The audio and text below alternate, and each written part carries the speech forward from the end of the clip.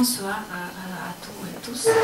Je m'appelle euh, Marina Podmarkova. Je Parlez plus fort. je suis, je suis d'origine russe. Depuis 7 ans, je suis à, France.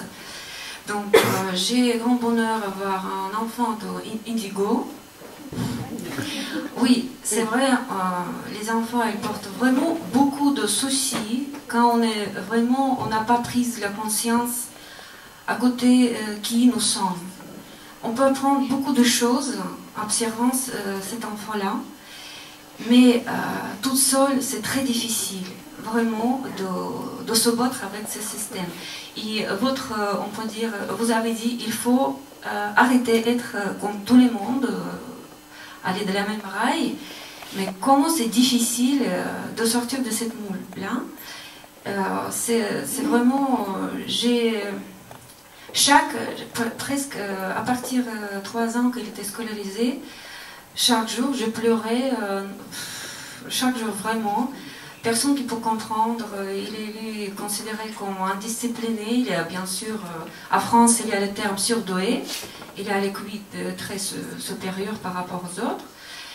Euh, oui, la question, arrêter de faire comme tout le monde. Moi, j'ai fait tout ce qu'on peut faire possible. Je contactais Steiner, ils ont refusé à cause de euh, discipline.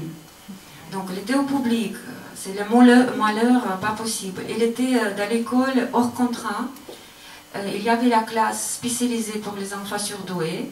Finalement, donc, il, se retrouvé à la maison, à l'école à distance, à la distance.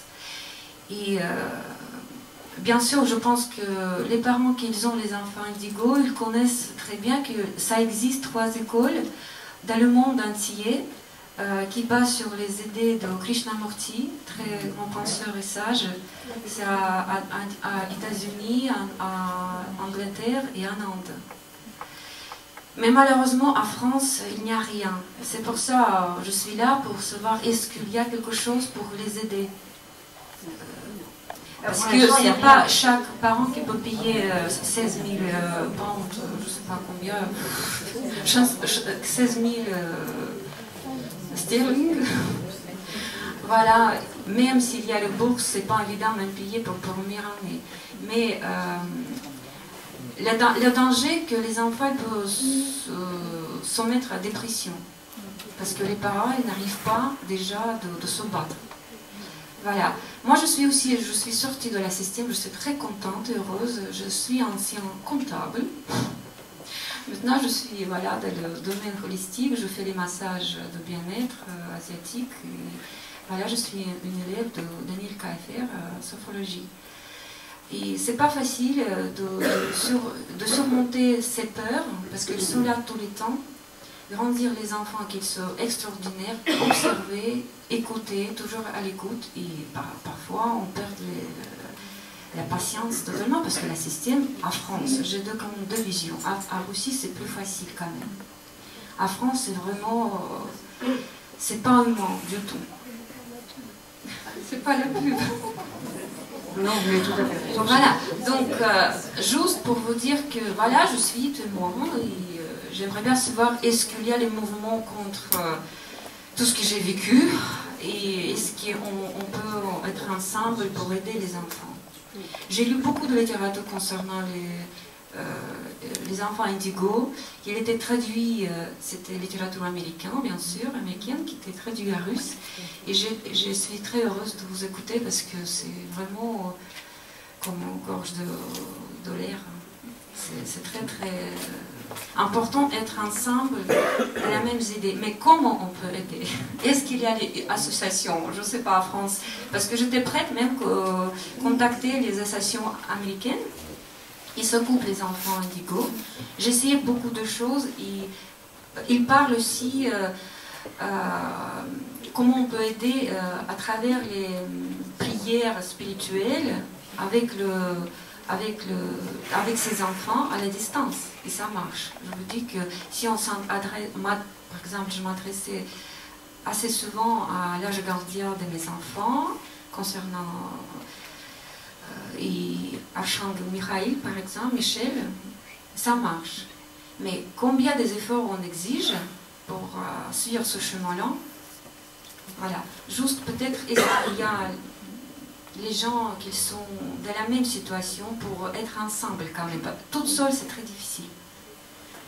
Oui, alors justement, puisque on, va passer la parole maintenant. Vous êtes obligé de partir là Oui, 9 francs, dernier franc bientôt. Euh, on habite à Versailles. Ah, d'accord. Non, parce qu'il y a euh, une, personne qui va vous parler justement de projets pour des écoles de ce genre-là. Mais je ne sais pas du tout si, ça peut aider. Euh, il est évident que le, combat est très difficile quand on est seul. Et vous allez voir que de plus en plus, il va y avoir des gens qui vont se joindre à vous, parce qu'il y a de plus en plus d'enfants comme ça, et de plus en plus de mères qui le réalisent, et qui ne sont pas du tout à se dire... Euh, savez, pendant longtemps, on accusait tellement les mères d'être des mauvaises mères, c'est ce qui s'est passé pour l'autisme. Au départ, on avait dit que les enfants étaient autistes parce que les mères ne les aimaient pas assez, n'étaient pas des bonnes mères. Ça s'est vu en France il y, a, il y a 20 ans, on en parlait sans arrêt. Donc maintenant, on commence à être quand même plus raisonnable. Donc je pense que vous allez trouver quand même davantage de gens euh, à l'avenir qui vont être de votre côté, qui vont vous aider. Mais si vous pouviez écouter peut-être cette dame, ça vous apporterait quelque chose. Alors oui, euh, on, va, on va vous parler d'un projet que nous avons, alors pas tout seul, parce qu'il y a Antonella qui va, qui va vous en parler et Claire également. Euh, moi je voulais juste vous donner une petite illustration de, de ce que c'est vraiment un enfant d'Igo et, corroborer 10 000% ce que tu as dit Sylvie, puisque ben, j'ai la chance, et je dis la chance, d'avoir un enfant d'Igo à la maison.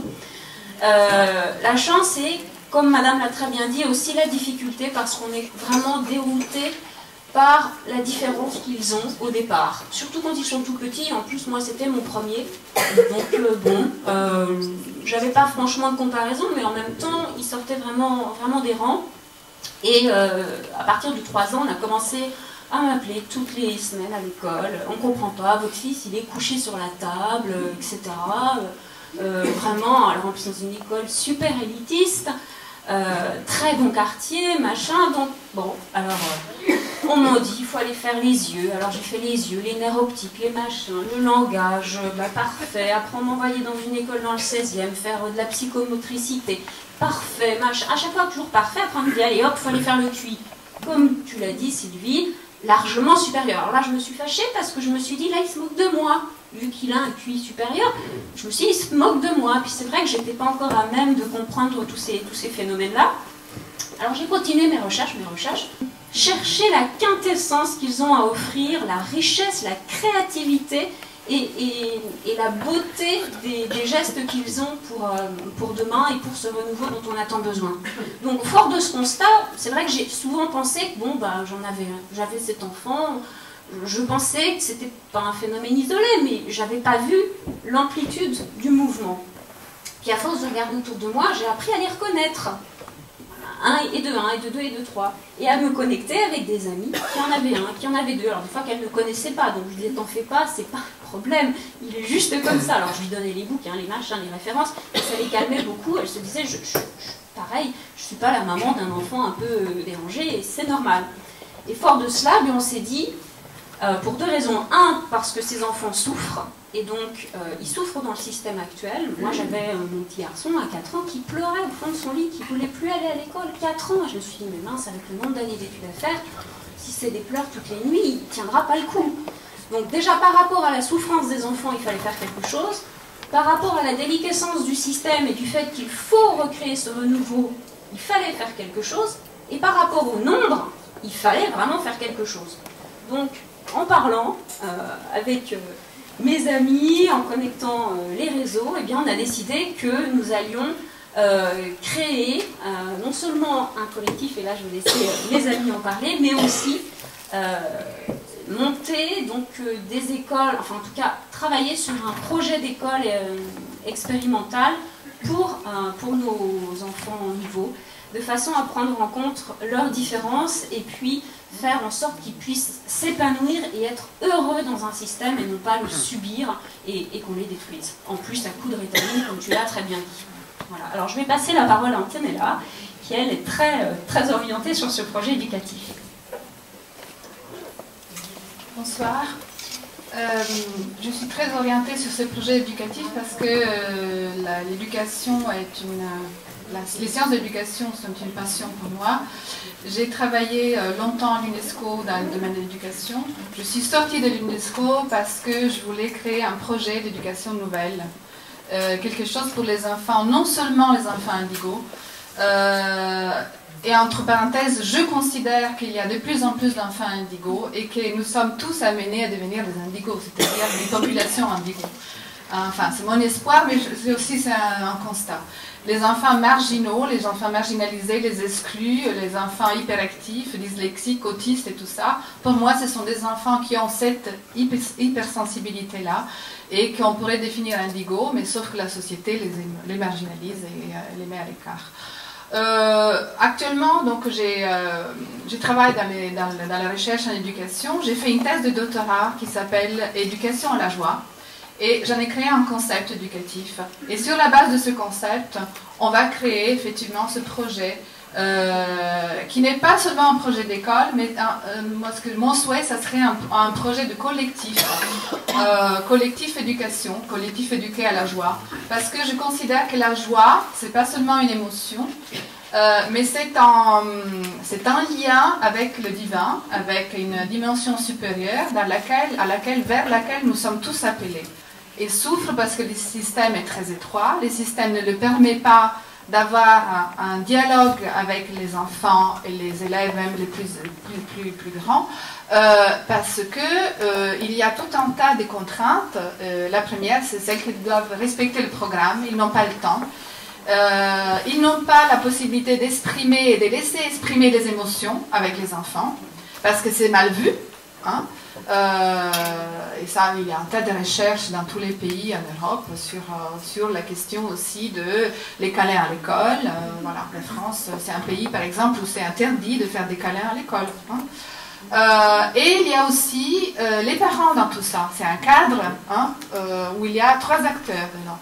Donc les parents, il y a des parents qui ont eux-mêmes souffert très souvent dans le système scolaire qui ne sont pas à mesure de, il y en a beaucoup qui ne sont pas à mesure de reconnaître cette hypersensibilité de leurs enfants.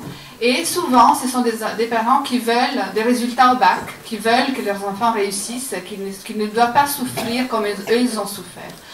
Donc, il y a aussi une éducation à faire vers les parents.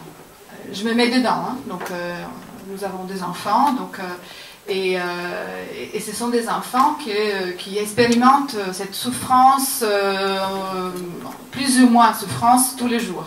on a eu la chance de pouvoir les mettre dans une école privée, mais je suis là, je suis très déçue parce que c'était une école nouvelle et cette école nouvelle est en train de perdre son âme. Donc si vous voulez, si vous êtes intéressé à cette question, euh, contactez-nous. Euh, bientôt, nous allons euh, réorganiser une, soirée avec objectif, comme objectif le thème de l'éducation. Et voilà, vous êtes invités. Si entre-temps, on peut aussi réfléchir par Internet, ça serait très bien. Merci beaucoup. Bien, moi, je voulais témoigner de, de, la raison pour laquelle je me suis jointe à, à Bénédicte et à Antonella pour travailler sur sur cette école nouvelle pour les nouveaux enfants, parce que le petit garçon blondinet que vous avez vu circuler tout à l'heure, donc euh, c'est mon fils, euh, pour euh, mon plus grand bonheur. Tanguy donc a des difficultés aussi de, pour aller à l'école. c'est récurrent. Il s'y ennuie beaucoup. Ce qu'il nourrit, c'est tout ce qu'il fait à l'extérieur de l'école. Il est extrêmement adaptable. Et alors, ce que je voulais euh, partager avec vous, c'était effectivement ces clichés et ces, euh, étiquettes qu'on mettait sur ces enfants, parce qu'il y a trois mois, euh, on m'avait sommé de le montrer à un psychiatre, à un orthopsiste et à un graphothérapeute, parce que bon, il ne voulait plus aller à l'école. Et puis, il a refusé de partir avec sa classe en classe verte. Euh, j'ai quand même eu affaire à une directrice euh, sensée qui a accepté qu'il ne parte pas et qui l'a mis euh, pendant cette durée-là dans une autre classe du même niveau. Il s'est donc retrouvé avec un maître, c'était le 5 octobre. Je suis rentrée le soir et mon fils qui n'écrivait plus rien du tout, qui ne prenait plus ses devoirs et qui était devenu illisible, écrivait parfaitement, avait écrit ses devoirs et était en train de les faire. Donc euh, tout, tout, ce qui m'avait été conseillé, ça s'était résolu en une journée. Aujourd'hui, euh, je, je, suis de nouveau dans une situation difficile parce qu'il refuse à nouveau d'y aller. Il a fait le tour de la question. Bon, ce matin, je l'ai emmené précipitamment voir Sylvie, qui a pris une heure de son précieux temps pour lui expliquer ce à quoi on s'exposait si euh, il faisait vraiment les, les, pieds au mur. Et là, il s'est engagé auprès de Sylvie et j'espère que cette fois-ci, il sera la bonne pour qu'il euh, me donne le temps de, de, trouver une autre solution parce que le système vous broie littéralement là. Si vous commencez à plus envoyer votre enfant à l'école, soit vous passez dans la déscolarisation et ils sont sur votre dos, soit c'est l'académie et le rectorat qui vous somment de vous présenter, voir tel psychiatre, tel intervenant, etc. Et alors là, votre vie, vous la consacrez à ça, à vous défendre. Donc euh, c'est la raison pour laquelle ben, euh, on s'est dit qu'à plusieurs mamans, on pouvait vraiment se, réunir pour déjà dépasser ces difficultés ponctuelles et puis créer autre chose, puisque c'est la seule solution euh, pour euh, pouvoir s'en sortir et les amener à donner le meilleur d'eux-mêmes, parce qu'ils ont un potentiel absolument incroyable, et ce potentiel est complètement réduit peut-être pas à néant, mais à pas grand-chose par le système tel qu'il nous est proposé aujourd'hui. Donc je passe le micro, il y a d'autres euh, questions. Voilà. Oui, merci. Donc si j'ai bien compris, il y a des enfants indigos, il y en a toujours eu. Donc, euh, oui, mais pas, je... pas, autant que maintenant. Alors justement, c'est ma question. Pourquoi y en a-t-il autant maintenant? Je pense parce qu'on a besoin d'eux. Moi, je pense, alors là, dans mon côté euh, spirituel, que le ciel nous les envoie parce qu'on a besoin d'eux, ils viennent comme des sauveurs. Aider l'humanité à évoluer. Parce qu'il n'y a pas de raison. Ils arrivent à un moment tout de même où vraiment euh, on, est au bord de la catastrophe. On, nous dit toujours que tout va très bien, Madame la Marquise. Euh, on va reprendre, vous savez qu'on est dans une crise qui ne va pas durer. On est déjà à peu près sorti de la crise, qui va très bien. Tous les gouvernements n'arrêtent pas de nous répéter, il n'y a que qui le croient. Mais c'est vrai que pour eux, il n'y a pas beaucoup de crise. Hein, ça se passe très très bien.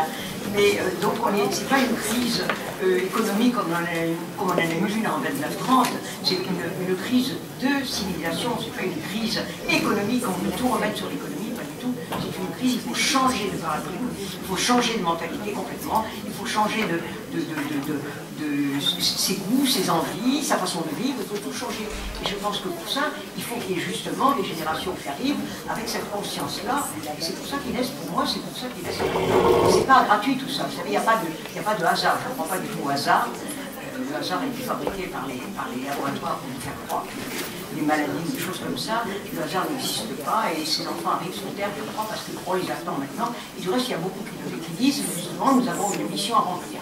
Je pense que c'est pour ça qu'il y a tous ces enfants qui naissent maintenant. Voilà, il y a d'autres questions Je passe le micro Bonsoir, merci pour la conférence. Euh, je, je, voulais savoir, euh, Sylvie, est-ce que vous savez si, est-ce que vous avez connaissance si, du, euh, si les enfants, au niveau du fait de leur aura euh, différente, de leur euh, magnétisme particulier, présentaient une sensibilité exacerbée aux, aux pollutions électromagnétiques? Ou au contraire euh, pouvait se euh, avec une protection naturelle par rapport à, ces phénomènes-là je crois que la meilleure protection qu'ils aient, c'est que naturellement, ils sentent ces choses-là. Ce sont des enfants qui détestent tous les, tous les, les aliments qu'on vend dans les supermarchés, etc. Les produits chimiques qu'ils détestent, et souvent, ils ont des allergies à ça. Hein. Bien qu'il y ait une qualité de fer, ils ne supportent pas toutes ces choses-là. Donc, c'est parce qu'effectivement, ils ont une hypersensibilité. Et ceci, euh, les enfants indigos qui sont en bon état, dans les familles aimantes et tout, ils sont vraiment pas du tout réceptifs aux maladies. Ils résistent à beaucoup de maladies, à condition qu'on les nourrisse correctement, évidemment. Si on leur donne des, cochonneries qu'on prend un peu partout. Mais ça, ils le sentent immédiatement. Tu ne peux pas tricher avec eux. Hein. Ils vous mangent, quelque chose, ils vous disent là, je sens qu'il y a quelque chose qui n'est pas bon. Ils le, le détectent tout de suite. Hein. Du reste, je signale que la plupart des enfants indigos sont beaucoup, beaucoup, sont végétariens. Moi, je me souviens qu'il y a des années, mon petit-fils qui vivait sur la mer, alors forcément, bah, il mangeait, beaucoup de poisson. Et un jour, il a refusé, il avait deux ans et demi, et il a refusé de manger du poisson. Il mangeait de viande parce que ses parents sont végétariens, il mangeait, il mangeait du poisson.